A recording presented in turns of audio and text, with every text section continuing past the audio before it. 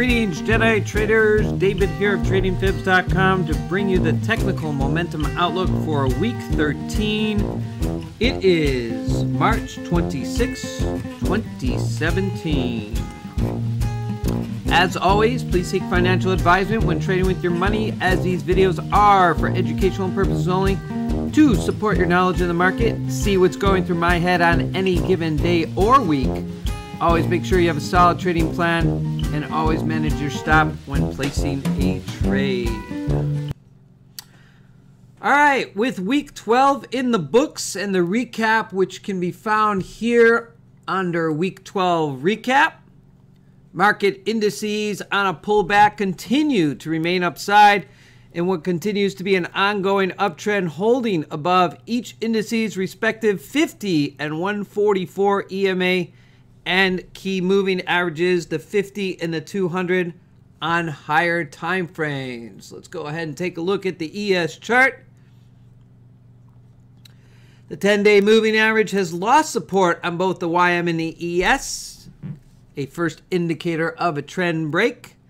The ES, which has found significant resistance on a weekly MML chart, as seen here, has the probability of a 50% pullback to major support resistance around the 2250 if the 50 MA is unable to hold up, which we'll see here in a little bit on the daily charts. This would put the ES in proximity of its 200 day moving average, not seen since November 2016. Go ahead and take a look at some of the key charts there from week 12 as we'll roll into the big picture here for week 13. Kerplunk, that's exactly how the market played itself out on Tuesday as the three indices initiated a hail short to the downside. Interesting enough, it was the NQ making an all time high prior to just the turnaround. Midweek reprieve from the sell-off was welcome in comparison to the end of the week chop, as you can see here on the charts.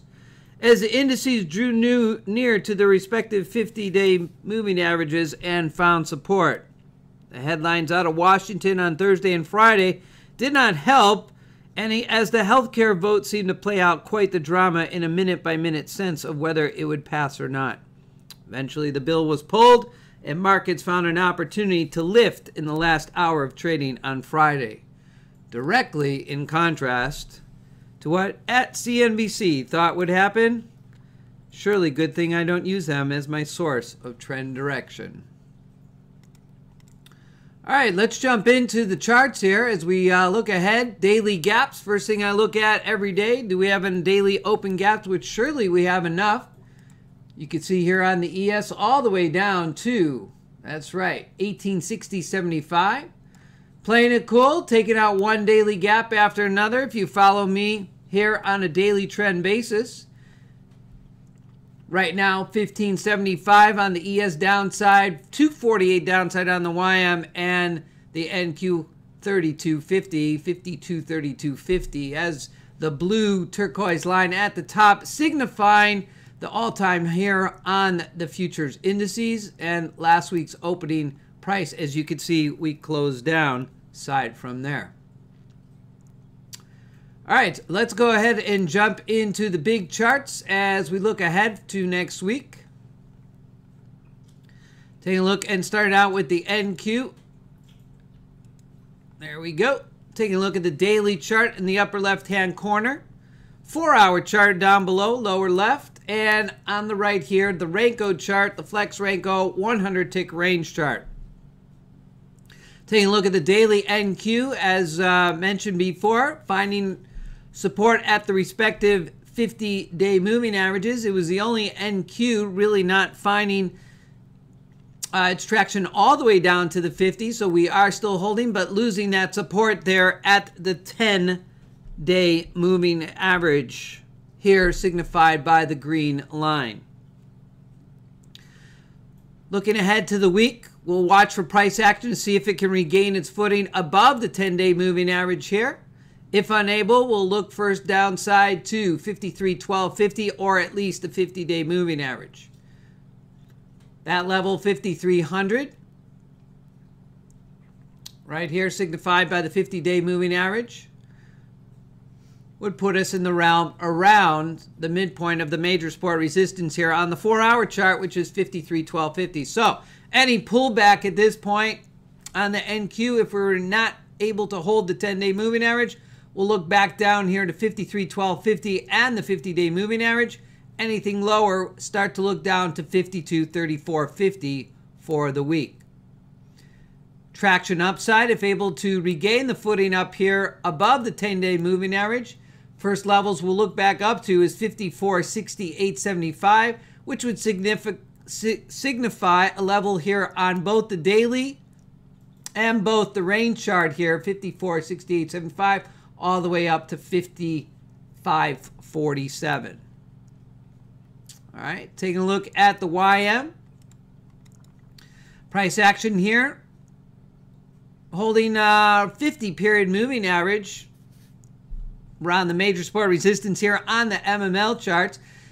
250 upside and 20k to the downside. A little bit of consolidation here on both the lower time frames, but the bigger time frames daily holding around here around the major support resistance gives us probability of both directions. So again, 250 to the upside and 20 K to the downside.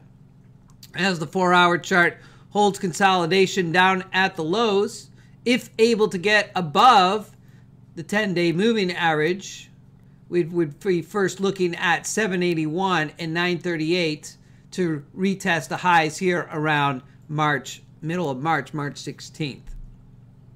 As you can see on the range chart, we're still holding above the 5144 EMA.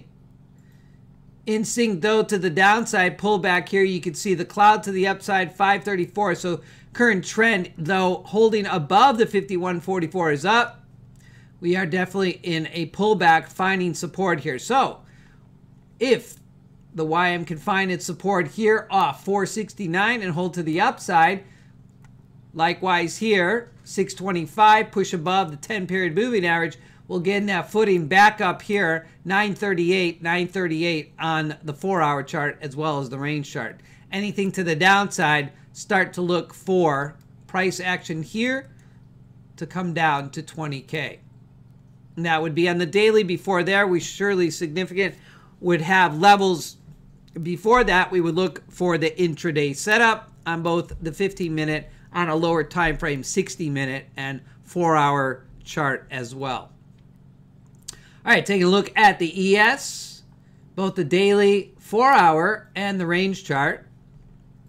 Here we can see price action similar as we saw in the YM, finding its support here off the 50 period moving average.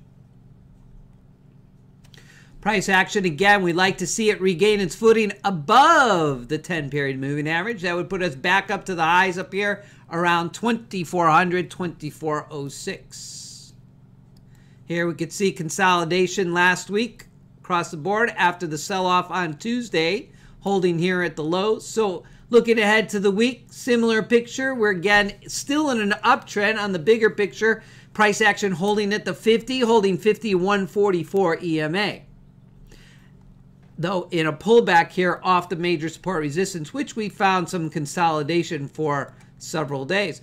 All right, so the case to the upside here, Jedi traders, is if price action can hold off the 50 and break back above the 10 period moving average, then I'll start to look to levels around 23.59 all the way up to 23.75, which would put us in sync here on the two charts.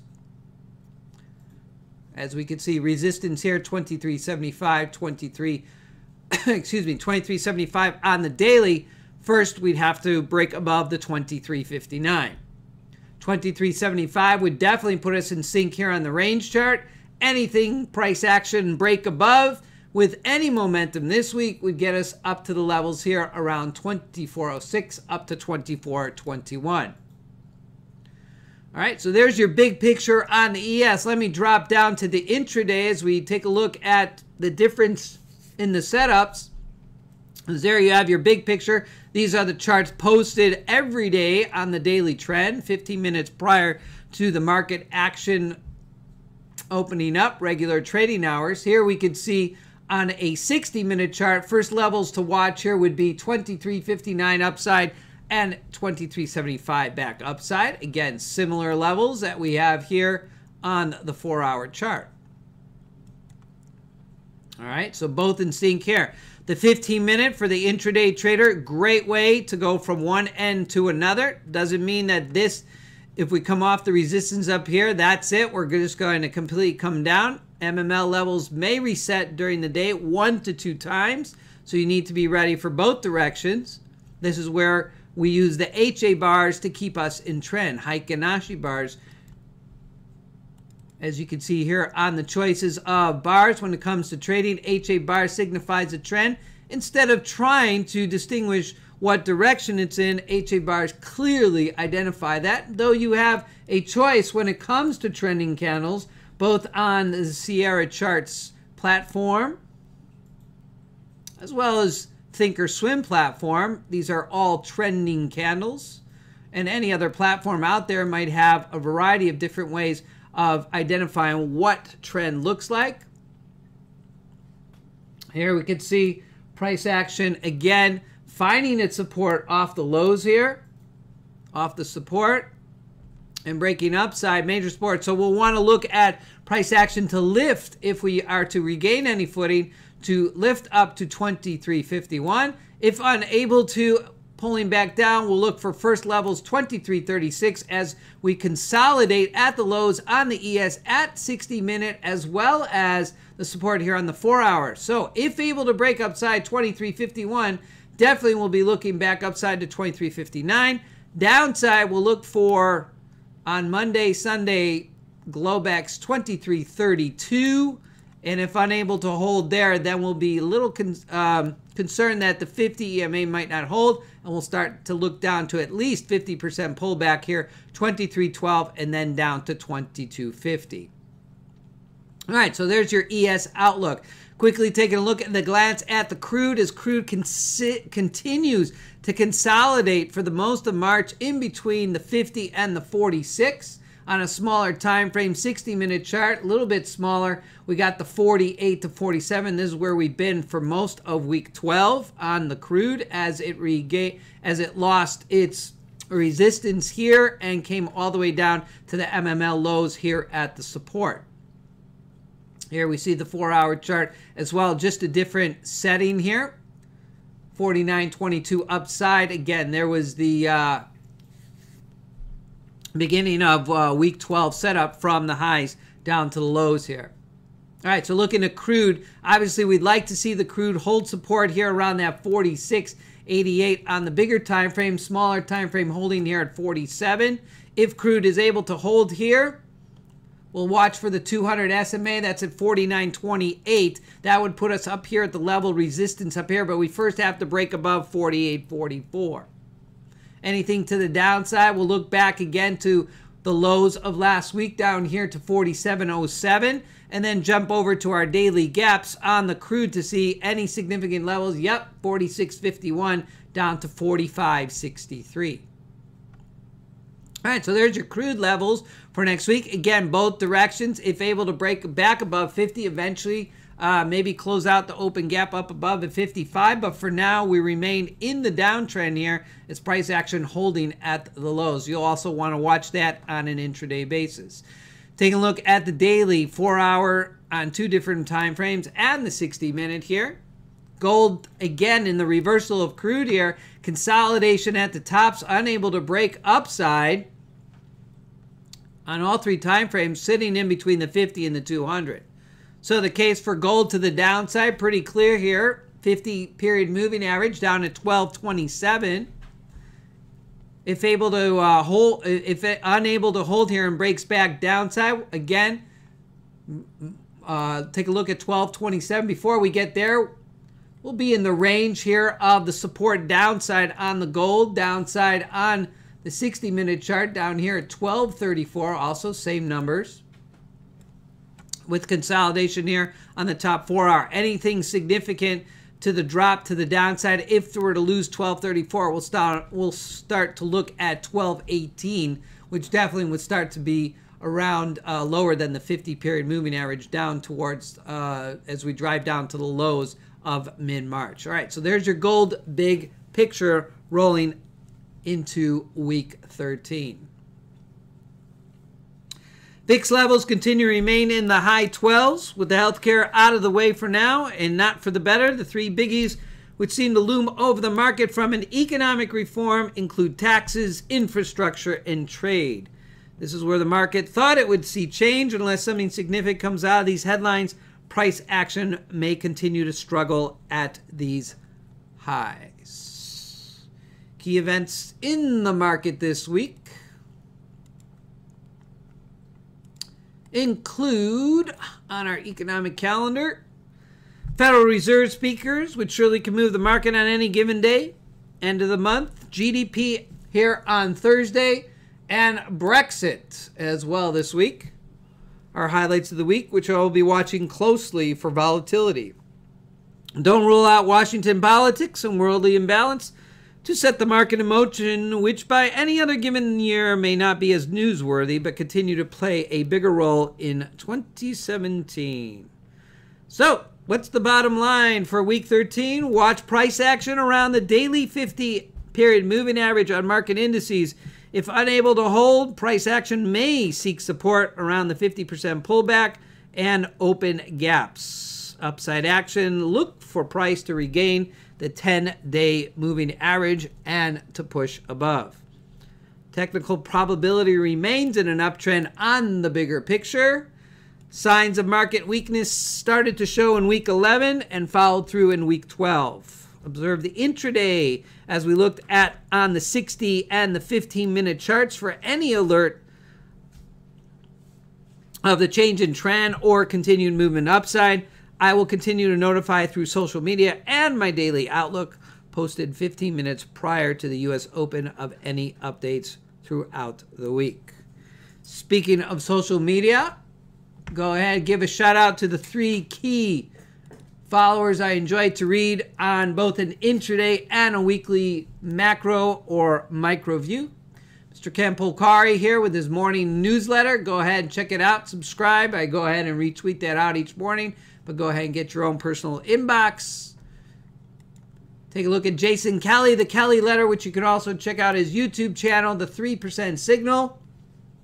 Good macro view of the market each week delivered to your inbox early Sunday morning, as well as the Shadow Trader. Check out his market profile, which I follow as well. And you can go ahead and learn a little bit from both his webinars, indicators, or just an overall consensus when it comes to um, understanding market uh, analysis from the profile perspective. All right, guys, that concludes an insight into the technical momentum for week 13. Feel free to stop by tradingfibz.com or any of my social media outlets to obtain more information. My mantra of one simple strategy any market, any chart, any time frame will keep you disciplined. You can find me every day on Twitter at Trading Fibz, and as always, I leave the crystal ball to the experts. I only watch what's in front of me and on my chart. Speaking of charts, what is it we are looking for? We can appreciate the uh, can appreciate the bigger picture, but when it comes to the charts, seeing the candles in trend underneath the 5144 cloud gives us an opportunity for highest probability of momentum to remain in a setup like so and giving yourself a trade management program that hopefully gets you a contract off and gives you the opportunity for a runner. After that is in place, it's all up to the market. It, no control. And that's what I say leave your bias at the door when trading. Markets can move in either direction. So as long as your trade management gets at least a contract off or you're moved to break even, you have the probability of remaining in the trend just based on the trend candle. So, charts that you saw today, that's the big picture. Intraday, same setup, just on a smaller time frame. For those of you that are interested in joining us our community of like-minded traders seeking those highest probability setups, feel free to email me, david at tradingfibz.com. You may join us any Thursday or Friday to view the live chart setups as they happen in the trading day. Hey guys, have yourselves a Blue Zone week wherever you may be. Good day, good night, and good trading to you.